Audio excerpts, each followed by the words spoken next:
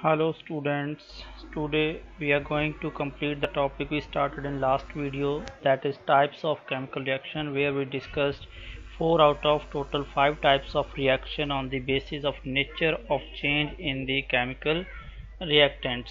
So here we already have done combination reaction decomposition reaction displacement reaction and double displacement reaction. Last and fifth type is the reduction oxidation reactions which are also known as a redox reaction now why we call these redox reaction it is combination of two words red from reduction and ox from oxidation the purpose of reading it as redox reaction is that the redox reaction होते हैं they involve give and take so give and take can never go alone means if a person have to take something there must be a giver for example एक आदमी को किसी को loan चाहिए कोई उसको लोन देने वाला होगा, तभी वो ले सकता है। ऐसे ही किसी ने लोन देना है तो कोई उससे लोन लेने वाला भी होना चाहिए तभी। सो साइमल्टेनियसली जो हमारे पास रिडक्शन और ऑक्सीडेशन है, ये भी साइमल्टेनियसली होती हैं। कोई एक रिएक्शन अलाउन कभी नहीं होती है। अगर किसी केमिकल रिएक्शन में रिडक्शन हो रहा है तो ऑक्सीडेशन भी उसके साथ ही होता है। So that's why we call this redox reaction because reduction and oxidation of reactant always occurs simultaneously now what is reduction and what is oxidation तो इनको डिफाइन करने के लिए टोटल हम सिक्स टाइप से यूज़ कर सकते हैं सिक्स डेफिनेशन बना सकते हैं। उनमें से तीन हमारे टेंथ लेवल में होती हैं, जिनमें से आपके पास इन टर्म्स ऑफ़ गेन और लॉस ऑफ़ ऑक्सीजन कि कोई आइटम ऑक्सीजन गेन कर रहा है या उससे ऑक्सीजन का लॉस हो रहा है। दूसरा गेन और लॉस ऑफ़ हाइड्रोजन एटम्स तो मीन्स हाइड्रोजन एटम का गेन कर रहा है, कोई सब्सटेंस है हाइड्रोजन एटम का लॉस हो रहा है।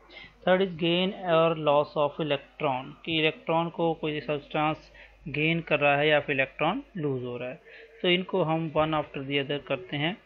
फ़र्स्ट ऑफ़ ऑल गेन और लॉस ऑफ़ ऑक्सीजन तो in terms of this kind of definition if इस रिएक्टेंट गेन्स ऑक्सीजन एटम वो ऑक्सीजन का गेन करता है तो वो उसका ऑक्सीडेशन है। आप ऐसे भी कह सकते हैं when oxygen atom is added to a reactant, it is said to be its oxidation. And loss of oxygen means जब उसमें से ऑक्सीजन का रिमूवल होता है तो वो आपके पास बन जाता है रिडक्शन जैसे एक एग्जांपल है बुक में दिया हुआ, कि व्हेन हाइड्रोजन का gas is passed over copper oxide it turns to copper and H two O copper oxide जो है, ये ब्लैक सॉलिड है, और इसके ऊपर एच टू गैस को पास करें हीटेड तो क्या होता है कि ये ऑक्सीजन कॉपर ऑक्साइड से निकल जाती है लॉस हो जाता है और हाइड्रोजन उस ऑक्सीजन को गेन करके H2O में कन्वर्ट हो जाता है।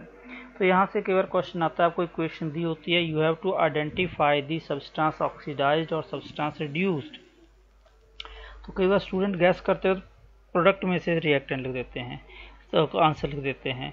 तो जब कोई केमिकल चेंज होता है, वो रिएक्टेंट में होता है और उसके बाद प्रोडक्ट बनते हैं। तो अगर ऑक्सीडेशन या रिडक्शन होना है, वो प्रोडक्ट का नहीं होगा, वो रिएक्टेंट में से ही होगा। तो यहाँ पर हमने देखना है, दो रिएक्टेंट हैं।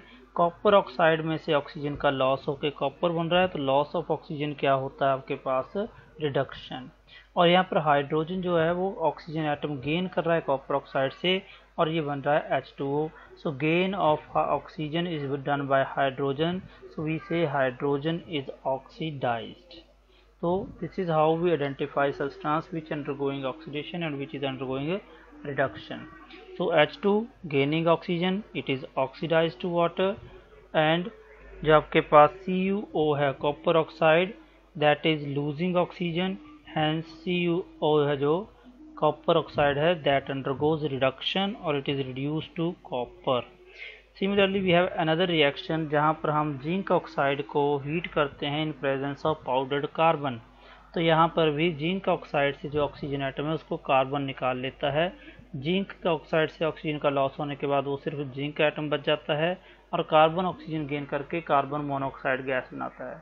तो जैसे हमने अबव रिएक्शन में देखा, वैसे यहाँ पर loss of oxygen from zinc oxide means zinc oxide undergoes reduction and gain of oxygen atom by carbon to change it into carbon monoxide. So it is oxidation. So zinc oxide is reduced and carbon atom is oxidized.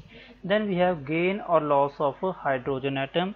So when a substance it is opposite to that of oxygen जब किसी substance में hydrogen atom का loss हो तो वो oxidation है और कोई रिएक्टेंट जो है हाइड्रोजन एटम गेन करे then it is called the reduction similarly we have gain और लॉस ऑफ़ इलेक्ट्रॉन तो इलेक्ट्रॉन जो है आपके पास, वो बिल्कुल हाइड्रोजन की तरह ही उसकी डेफिनेशन है। मींस अगर कोई रिएक्टेंट में इलेक्ट्रॉन का गेन होता है तो वो रिडक्शन और अगर उसमें से लॉस होता है इलेक्ट्रॉन का तो ऑक्सीडेशन तो जनरली हम क्या करते हैं मेटल नॉन मेटल की जब रिएक्शंस होती हैं तो उनमें मेटल्स एटम जो होते हैं, वो इलेक्ट्रॉन को लूज करते हैं और मेटल आयंस बनाते हैं. और नॉन मेटल जो एटम होते हैं, वो इलेक्ट्रॉन्स को गेन करते हैं और नॉन मेटल आयन बनते हैं. Means metal have a tendency to gain electron means go undergo oxidation and non-metal atom have tendency to gain electron non-metal have tendency to gain electron and change into anions means they undergo uh, gain reduction uh, sorry metal atom lose electron they undergo oxidation and non-metal atom they gain electron they undergo reduction. In general metallic and non-metallic reactions so we have here example. When sodium metal is reacted with chlorine gas it forms sodium chloride तो जो sodium chloride है, एक ionic compound है, जिसमें sodium cation है और chloride anion है। तो सोडियम एटम से सोडियम आयन कैसे बनता है? By the loss of one electron और लॉस ऑफ़ इलेक्ट्रॉन क्या है यहाँ पर? ऑक्सीडेशन तो हम कहेंगे sodium is oxidise to sodium ion. और जो क्लोरीन है आपके पास, वो इलेक्ट्रॉन गेन करके क्लोरीन नेगेटिव आयन बनाता है। कहने का मतलब गेन ऑफ़ इलेक्ट्रॉन हो रहा है मीन्स रिडक्शन तो we can say chlorine is reduced to chloride ion and sodium metal is oxidized to sodium ions. Similarly, when we react magnesium with oxygen, it forms magnesium oxide ionic substance. So, in that magnesium 2 positive ion are there and O2 negative ions are there. So, how magnesium changes to magnesium 2 positive ion? By the loss of two electron from its valence shell तो आपके पास magnesium two positive जो बना वो oxidation of magnesium atom से बना है। और oxygen से ऑक्साइड आयन कैसे बनता है? Gain of two electron in the valence shell of oxygen तो ऑक्सीजन यहाँ गेन ऑफ़ इलेक्ट्रॉन कर रहा है it means it is undergoing reduction so we have another example here sodium is reacted with oxygen तो sodium oxide बनता है। तो हमें पहले इस फार्मूला बनाना भी आना चाहिए। नाइन्थ में हमने सीखे भी हैं। सोडियम की वैलेंसी वन है ऑक्सीजन की वैलेंसी टू क्रॉस मल्टीप्लाई करने पर हमारे पास बन जाएगा एन ए टू ओ अब हमने करना है बैलेंस। तो रिएक्टेंट की तरफ़ देखें, दो ऑक्सीजन है, यहाँ एक। तो हमें प्रोडक्ट सोडियम ऑक्साइड को टू से मल्टीप्लाई कर दिया। बट साथ में सोडियम भी मल्टीप्लाई हो गया, टू इंटू टू फोर तो कहने का मतलब है, in balance reaction we will have four sodium atoms reacting with one molecule of oxygen and forming two molecules of sodium oxide तो यहाँ पर आपके पास अगेन सोडियम से सोडियम आयन कैसे बनेगा? By loss of one electron तो ये ऑक्सीडेशन है क्योंकि लॉस ऑफ़ इलेक्ट्रॉन हो रहा है। और ऑक्सीजन से ऑक्साइड आयन कैसे बनेगा? By gain of two electron तो gain of electron means reduction so we have so we have another example of such oxidation reduction reaction from your book, where manganese dioxide MnO2 solid, is reacting with four H C L to form M N C L two manganese dichloride solid and two H two O liquid and chlorine gas ये equation आपको balance करने के लिए भी आ सकती है, जहाँ H C L के साथ फोर नहीं लिखा होगा। तो आपको दो ऑक्सीजन निकालने के लिए चार एच चाहिए, तभी वो 2H2O बनेगा। It means you require four H C L then you can balance four chlorine also दो क्लोरीन ऑलरेडी मैंगनीज के साथ हैं, बाकी दो हैं वो क्लोरीन मॉलिक्यूल बनाते हैं।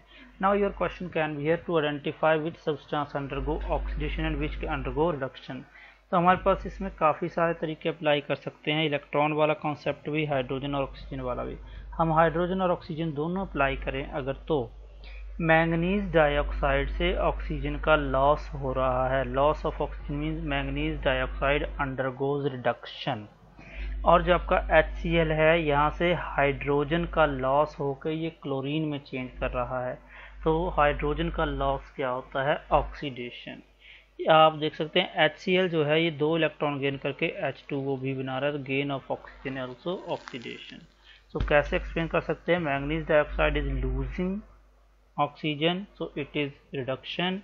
And HCl is losing hydrogen to change it into chlorine, so it is oxidation otherwise एक इलेक्ट्रॉन का कॉन्सेप्ट भी है बट वो oxidation number that is in higher classes तो यहाँ पर आप ऑक्सीजन के वे में और हाइड्रोजन के लॉस के वे में एक्सप्लेन कर सकते हैं इसको.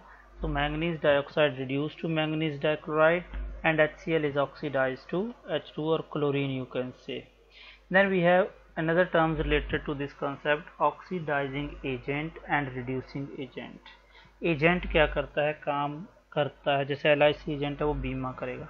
सो ऑक्सीडाइजिंग एजेंट किसी का ऑक्सीडेशन करेगा और जो रिड्यूसिंग एजेंट है, वो किसी का रिडक्शन करेगा।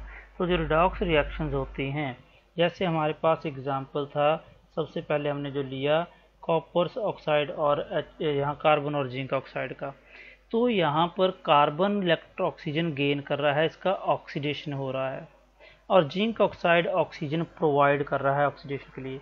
तो zinc oxide is helping carbon to undergo oxidation. तो हम कहेंगे जिंक ऑक्साइड जो है वो ऑक्सीडाइजिंग एजेंट है।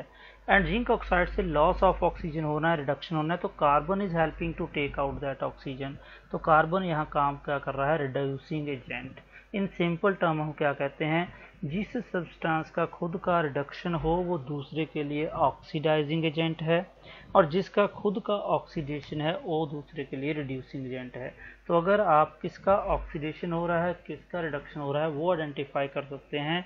तो आप इजीली बता सकते हैं कि कौन सा उसमें रिड्यूसिंग एजेंट है और कौन सा ऑक्सीडाइजिंग एजेंट तो यहाँ कार्बन का ऑक्सीडेशन हुआ गेन ऑफ़ ऑक्सीजन तो उसने जिंक ऑक्साइड के रिडक्शन में हेल्प करी ऑक्सीजन रिमूव करके, so carbon is reducing agent और जिंक ऑक्साइड का यहाँ पर रिडक्शन हुआ, उसने कार्बन को ऑक्सीजन प्रोवाइड किया ऑक्सीडेशन के लिए तो zinc oxide is acting as oxidising agent.